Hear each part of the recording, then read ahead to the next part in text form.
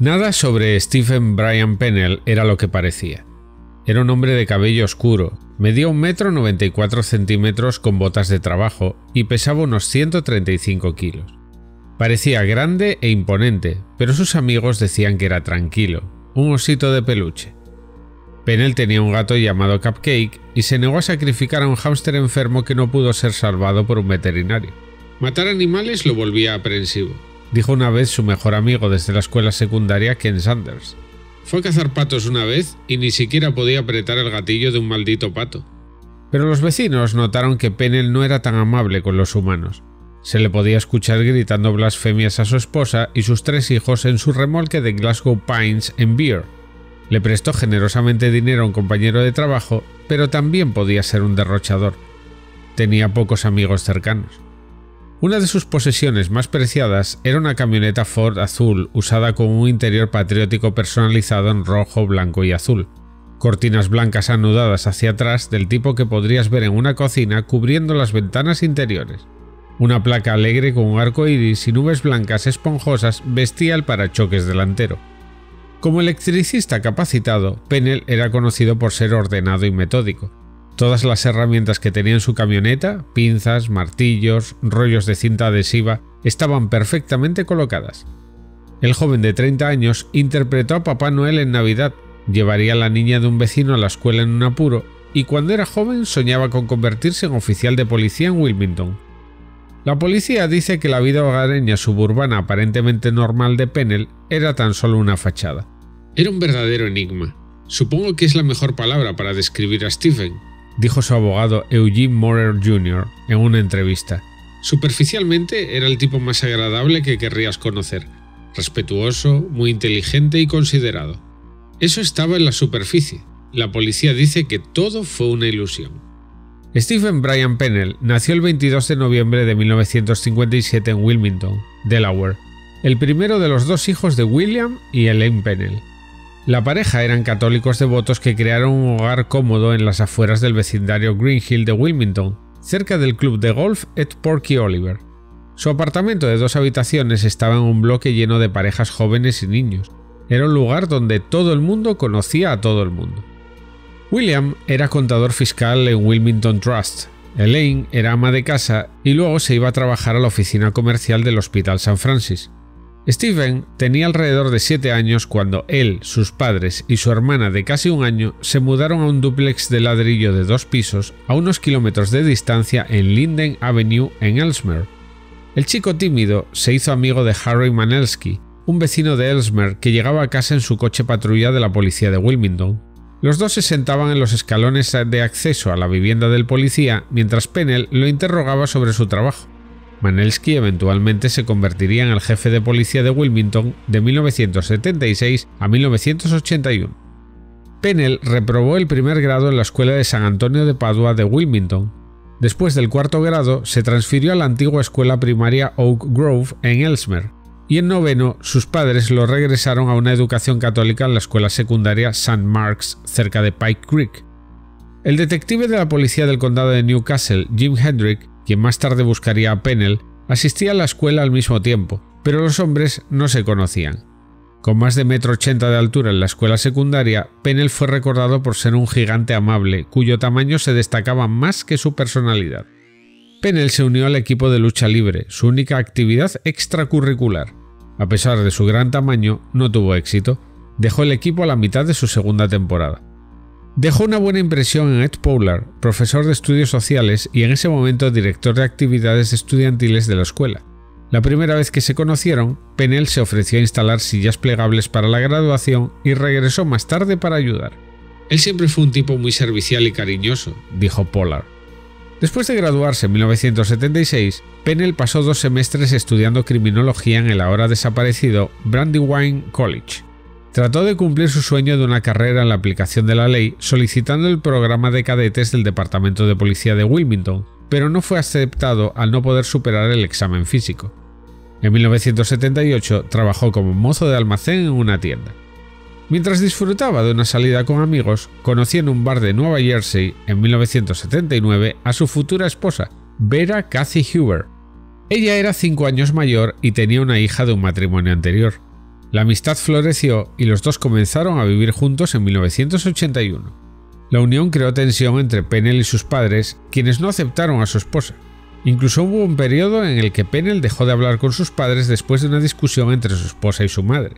Ese mismo año, Pennell tuvo su único encuentro con la ley. El entonces joven de 23 años fue acusado de robo y conducta delictiva por irrumpir en una tienda de tabaco de Pike Creek para robar una caja de monedas y revistas pornográficas se declaró culpable. Poco tiempo después, Pennell se inscribió en el campus de Stanton del Delaware Technical Community College. Inicialmente se especializó en administración de servicios de alimentos y luego se cambió a la electrónica. Fue contratado como aprendiz en el local 313 del sindicato International Brotherhood of Electrical Workers y expulsado por una razón no especificada en 1984 después de ocho meses. Todavía logró conseguir trabajos eléctricos y obtuvo su licencia limitada maestra de electricista en Delaware alrededor de 1987. Fue una de las aproximadamente 2.400 personas en el estado a las que se les permitió cablear hogares. Hasta ese momento, él y su esposa Kathy, sus dos hijos y la hija de Kathy vivían en una casa móvil en Glasgow Pines Trailer Court, situada en un pequeño callejón sin salida aislado por árboles. Algunos vecinos dijeron que era un buen hombre de familia que adoraba a sus hijos y jugaba fútbol y béisbol con ellos. Su hijastra adolescente dijo que tuvieron conversaciones padre-hija e sobre los chicos y que la ayudaba con su tarea de álgebra. Se sabía que Pennell cuidaba a los niños de otras personas y los llevaba a la escuela. Una vez se vistió como Papá Noel en la tienda Elsmer Dry Goods y volvió a interpretar el papel para la hija de un vecino. Aprovechó su cuerpo grande para trabajar como portero a tiempo parcial en George Next Door, un popular club nocturno de Trolley Square en Wilmington. Los propietarios dijeron que era confiable y que amaba mostrar a su hijo pequeño al personal, pero no tuvo mucho éxito en mantener a raya a los clientes rebeldes. El cliente, Gary Nietzsche, dijo que una vez vio a Pennell tratar de interrumpir una pelea solo para que lo tiraran al suelo y lo golpearan. Simplemente no inspiraba respeto, dijo Nietzsche. Pennell tuvo menos éxito en su carrera. No podía o no quería mantener un trabajo estable a pesar de su licencia de electricista. El trabajo más largo de Pennell duró un año, pero la mayoría de los periodos fueron de seis meses o menos. Tenía una tendencia a aumentar las facturas de las tarjetas de crédito, lo que ponía a prueba el matrimonio de la pareja. Se produjeron discusiones que incluyeron fuerte violencia doméstica. Pennell una vez le rompió el brazo a su esposa, pero el incidente nunca fue denunciado a la policía. La tensión aumentó en 1987 después de que su suegra muriera y la pareja intentara comprar su casa. Su relación con su madre, ya inestable, se detendría poco antes del Día de Acción de Gracias de 1987, aproximadamente un año antes de que se encontrara el cuerpo de Shirley Ellis tirado en un parque industrial. En una noche fría y lluviosa del 29 de noviembre de 1987, Ellis llevaba una bandeja de acción de gracias para un paciente con SIDA que estaba en tratamiento en el hospital Wilmington, poco antes de las 6 de la tarde, dejó el calor de la casa de su familia en el complejo de viviendas Brookmont Farms de Newark y comenzó un recorrido de 22 kilómetros que la llevaría a su destino. Shirley Ann Ellis conocía bien la Ruta 40. La joven de 23 años se había distanciado de una vida inmersa en el sórdido mundo de la prostitución. Incluso había comprado libros para formar parte de la escuela de enfermería. Aún así, sabía muy bien que la mejor manera de llegar a la ciudad era haciendo autostop por la Ruta 40, el área justo al sur de Wilmington donde había ejercido su oficio. Mientras caminaba por el lateral de la carretera, un automóvil se detuvo y se ofreció para llevarla.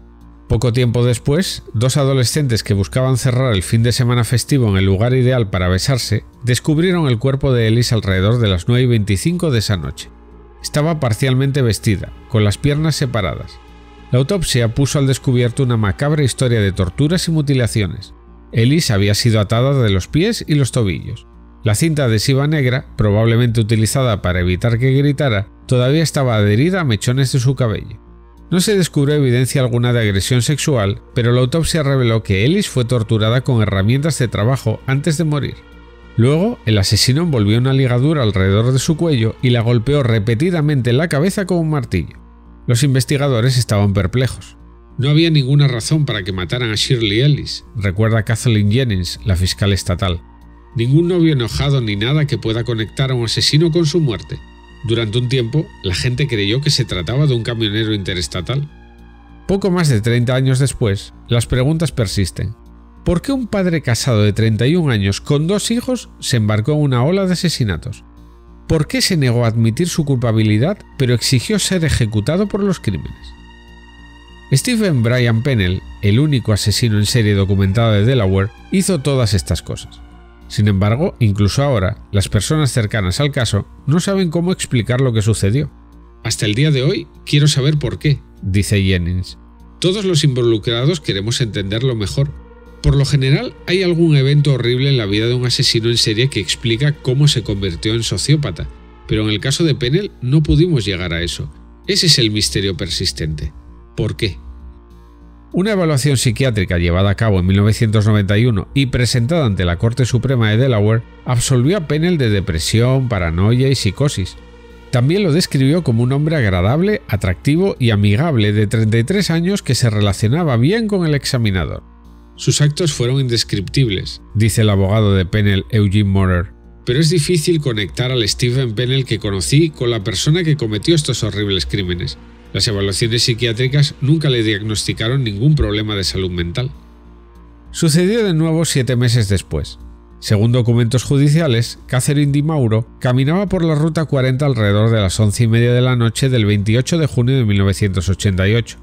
La mujer divorciada de 31 años tenía antecedentes de arrestos por prostitución, pero no está claro si estaba trabajando esa noche cuando aceptó el paseo de un extraño en una camioneta azul. Los trabajadores que construyeron el complejo de apartamentos Fox Run encontraron su cuerpo a las 6 y 25 de la mañana del día siguiente. Di Mauro fue encontrada completamente desnuda. Esa fue la única diferencia. Todo lo demás era igual. Le ataron las muñecas y los tobillos y la silenciaron con cinta adhesiva. De nuevo no había señales de actividad sexual, pero la víctima fue torturada y mutilada con herramientas de trabajo. También fue estrangulada con una ligadura y golpeada con un martillo. Todo coincidía con el caso de Ellis. Esta vez, sin embargo, el asesino dejó una pista. Di Mauro estaba cubierta de pies a cabeza con fibra de alfombra azul. Una semana después, los oficiales de la Policía Estatal de Delaware y el Departamento de Policía del Condado de Newcastle entraron en acción. Se formó un grupo de trabajo completo con su propio cuartel general cerca del aeropuerto del Condado de Newcastle. Con aproximadamente 60 miembros, fue el tercer departamento de policía más grande del estado durante un tiempo. Con acceso a un avión, helicópteros y vehículos de alquiler, el dinero no era un problema. Los miembros del grupo de trabajo se reunieron con la Unidad de Ciencias del Comportamiento del FBI en Cuántico, Virginia. La oficina concluyó lo impensable. Un asesino en serie había llegado a Delaware. La Ruta 40 era la única conexión entre las dos víctimas. Pronto, agentes encubiertas vestidas como prostitutas caminaron por el tramo de la carretera en busca de pistas, se involucraban en bromas coquetas con los hombres que se detenían, pero nunca subieron a un vehículo. Mientras tanto, otros miembros del grupo de trabajo intentaban identificar las extrañas fibras encontradas en Dimauro.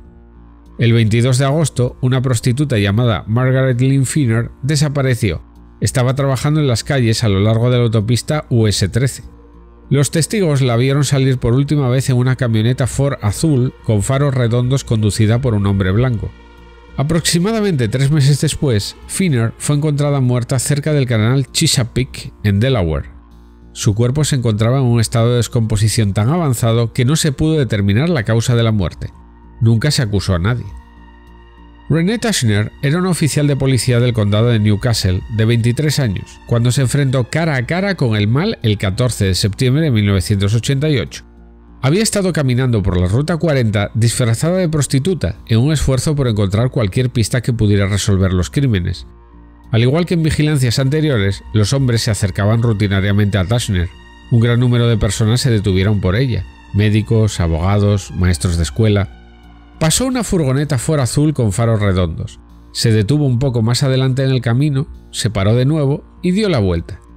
Tashner estima que la camioneta pasó a su lado siete veces en 20 minutos. Caminó hacia un área más apartada. La furgoneta finalmente se detuvo. Un hombre blanco abrió el panel lateral. Tashner vio de inmediato la alfombra azul que cubría el interior de la camioneta. También notó la frialdad del conductor. Él era diferente a cualquier otra persona que se detuvo por mí, recuerda. Fue difícil entrar en una conversación. No estaba en el momento, estaba mirando a través de mí. La joven oficial fue lo suficientemente clarividente como para frotar juguetonamente su mano contra la alfombra del piso de la camioneta, sacando fibras azules para extraer pruebas. El conductor exigió que Tashner subiera a la camioneta.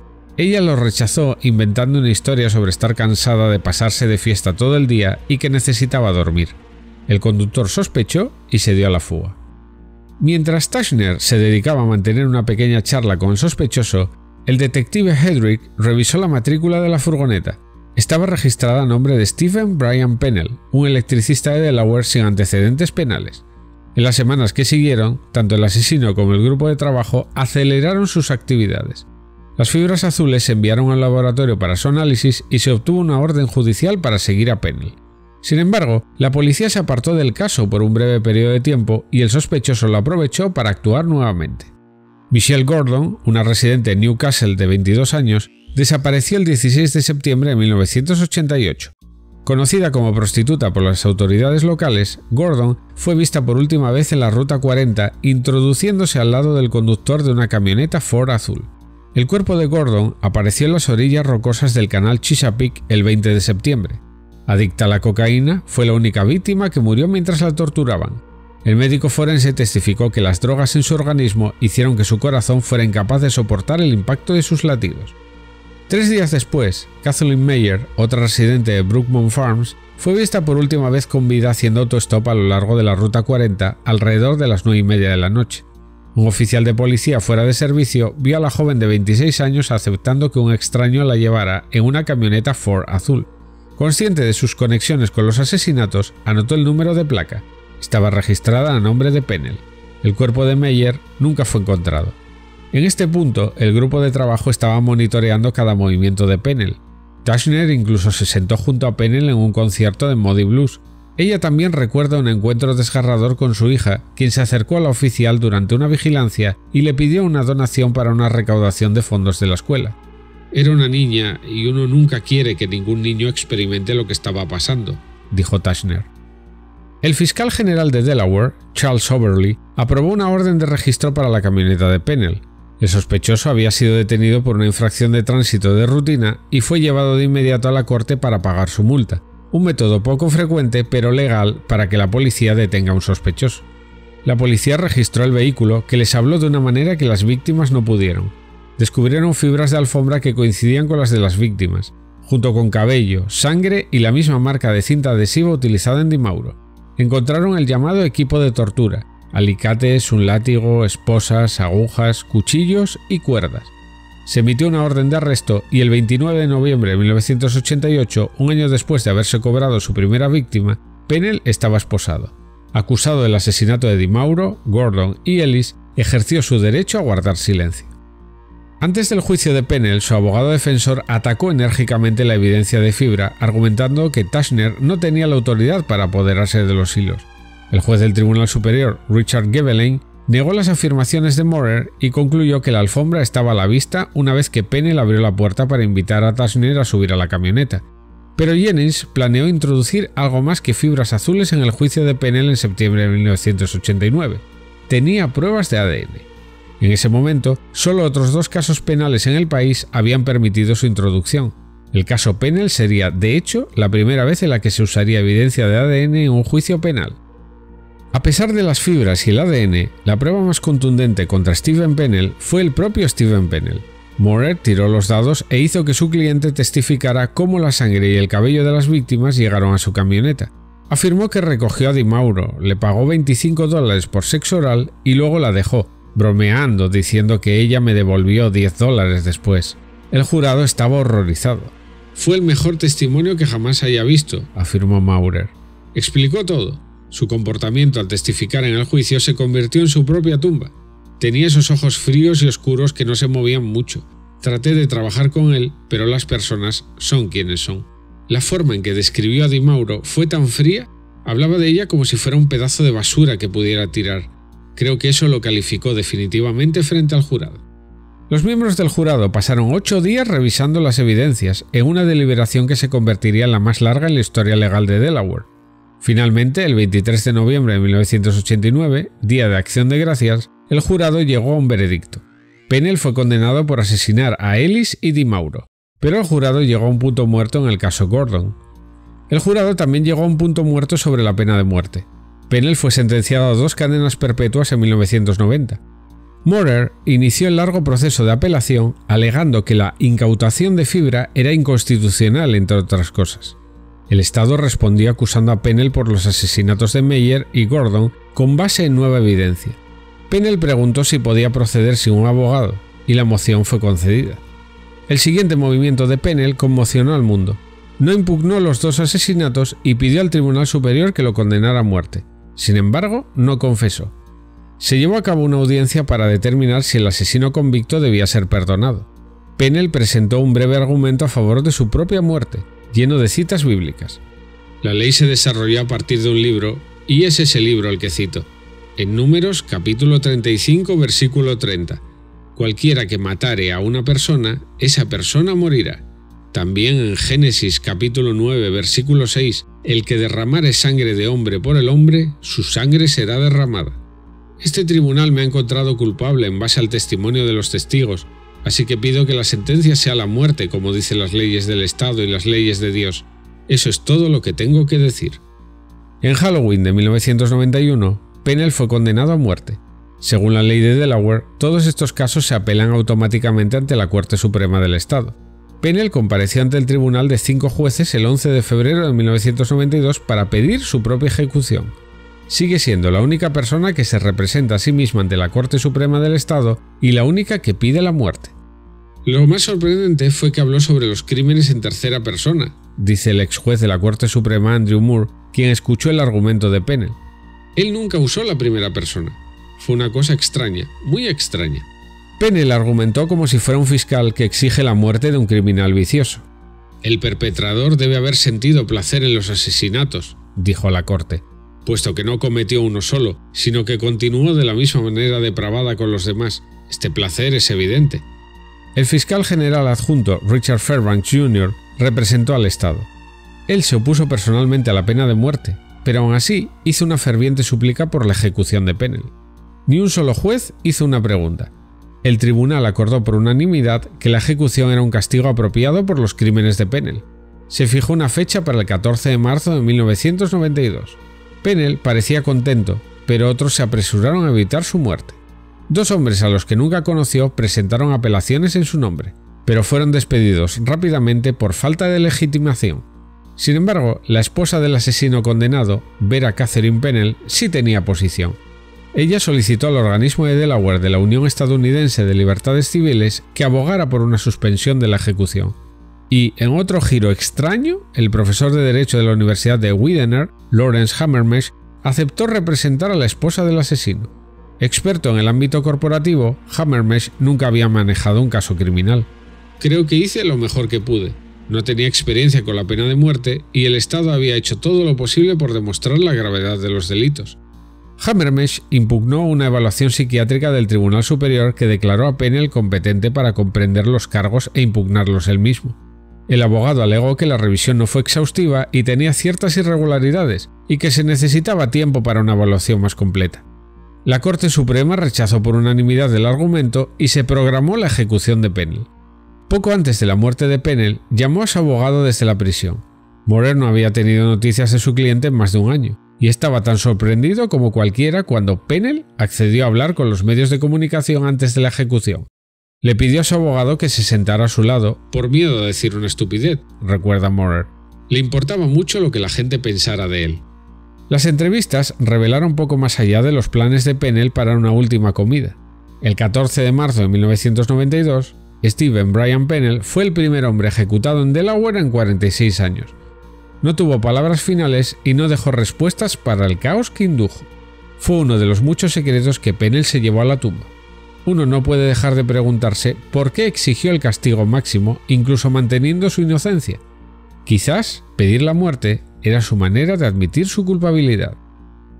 Si quieres que el canal siga adelante, dale like al vídeo, compártelo y suscríbete al club de los caminantes del terror.